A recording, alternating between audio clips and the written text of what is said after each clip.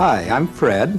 Hi, my name's Mike, and if you're sitting there watching this tape smoking your cigarette, well, hit the fast forward button because I don't smoke and I don't like people who do smoke. Hi, my name is Cardiac. I'm 26 years old from Orange County, California. I'm not afraid to get sand on my tuxedo if you're not afraid to let the wind mess your hair up a little bit when I take the top down. Perhaps even a, a nice bath with some champagne and candles. I like long walks on the beach and really good horror movies on Netflix.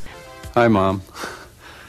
Um, I do fashion photography, and I do consider myself a refined valley dude. The qualities I look for in a prospective date is that they're fun, they're easy to talk to, and they taste really good for dinner.